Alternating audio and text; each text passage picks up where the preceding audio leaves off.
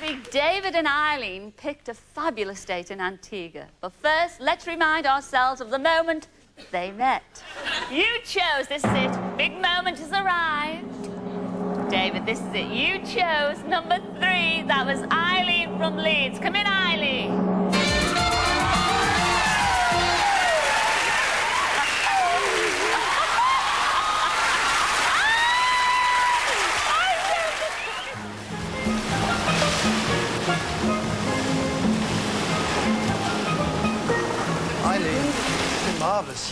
Looks just like the postcards, doesn't it?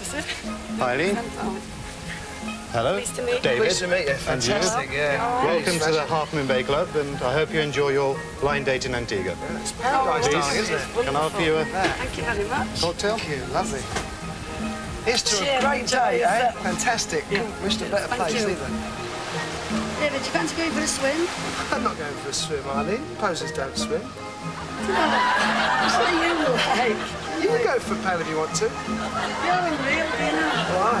I know we're on holiday, but I hope nobody here sees me with you. I tell I want to- I want to go home like that holiday, You'll mate. show me. Oh my God. Is this what you use on your hair? Do I? Do you know, I've, I've had enough of your posing. I can't do with it. Oh. I'm going. I'm off to swim whether you like it or not, right? You go then. I tell you what, I hope nobody sees me with you around here.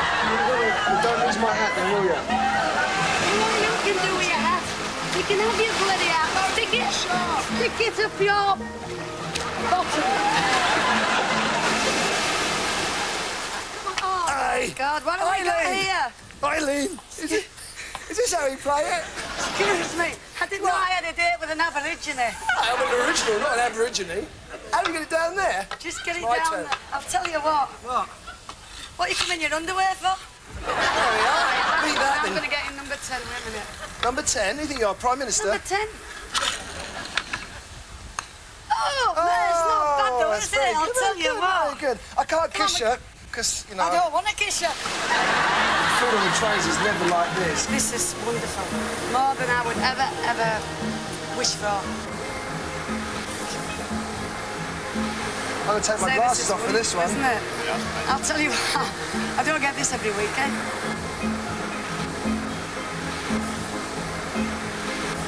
It really looks good. Tell you what, though, it's so romantic, isn't it? It wouldn't be so romantic if you weren't here. If I was here on my own, goodness me, this would be just another beach. See the nicest things, David.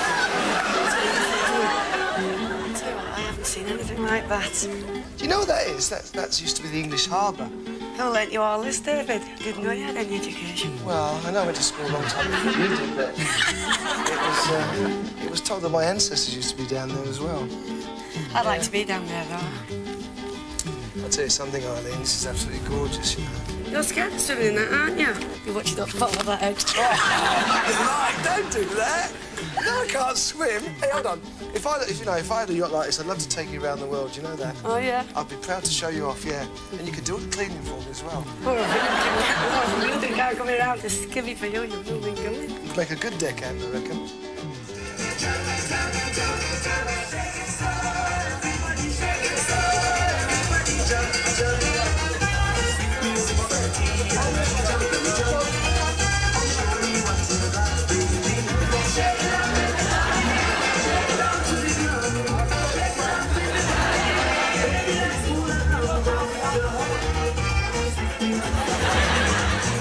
It's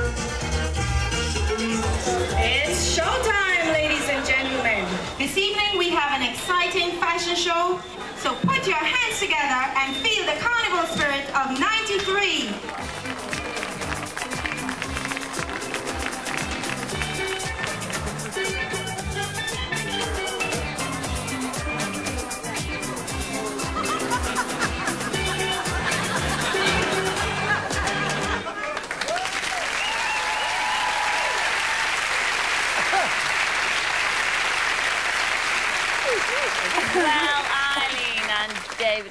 Antigua, you couldn't have picked a better date to spend your first date.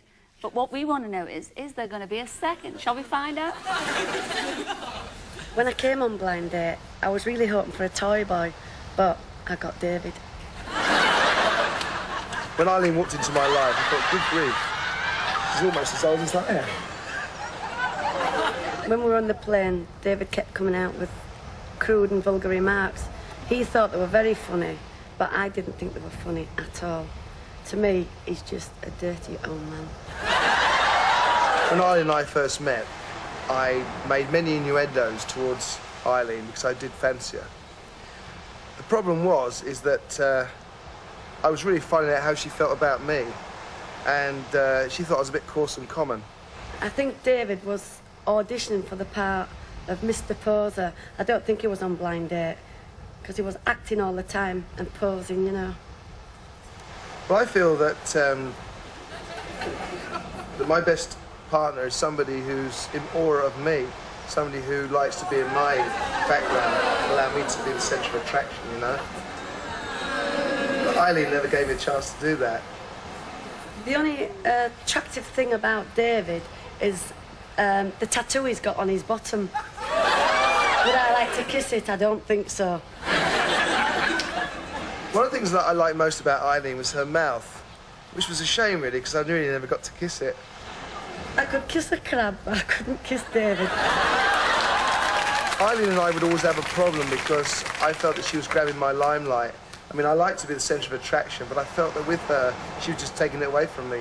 When David wasn't the centre of attention, he would storm off and have big tantrums.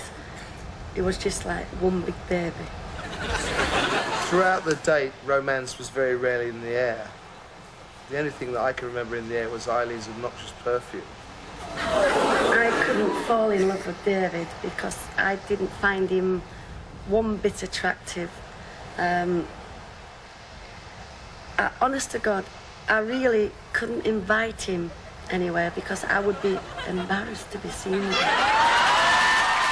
My personality and character cries out for love and affection in TLC. I would say to Eileen, if you really want to get to my heart, start making a fuss of me. The thing I would want David to do to make himself more attracted to me is walk into the sea. And I know he can't swim and never come back.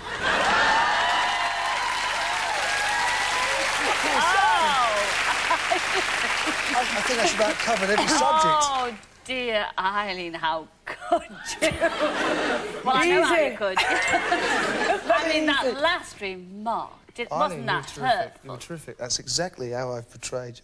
Good. Yes, I know. You've done very well. In Yes, but you, she wanted you to walk in the sea knowing you can't swim and never come back. How do you feel I about that? I tried it several times, but I just He couldn't didn't. do it. You're too chicken. No, I didn't. He said, my mum won't recognise me, so like the dentist will.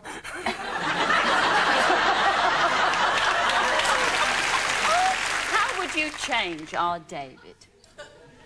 That's a leading question. I You've mean- just seen it all. How would No, no, I no, but I change mean- David? I'd, I'd need a miracle. I don't think I don't think anybody could change David. He loves himself so much it is unreal, and he couldn't understand why I didn't like him. He Oh, just you don't even like him now. well, I never did like him. He said.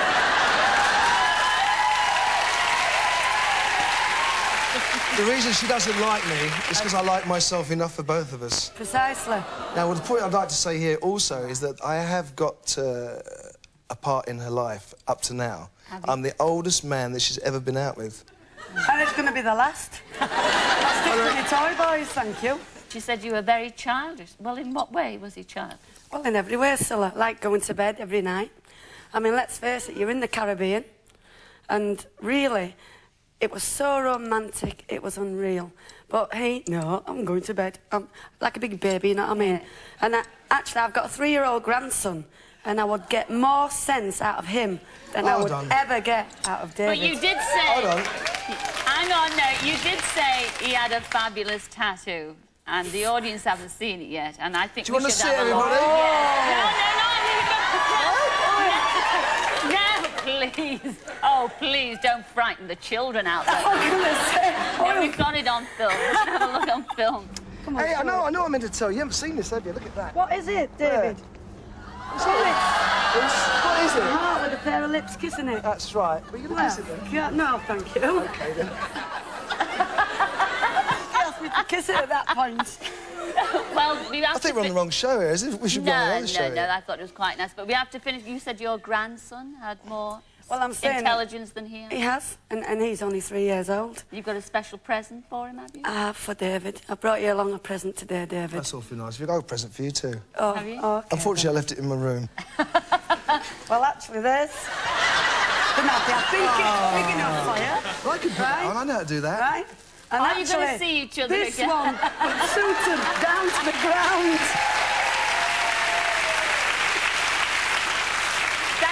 Thank you both very down much the ground. for coming back on Blind Date. And please, have we got a couple of bouncers so they don't kill each other when they get off, please? Ladies and gentlemen, David and Eileen. Oh, look at that. Thank you, David.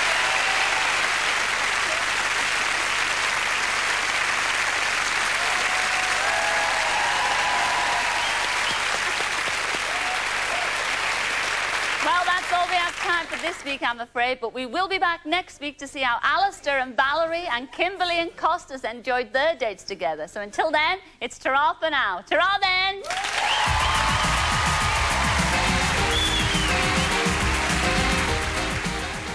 Next on Anglia, the return of Jessica Fletcher and Murder, She Wrote.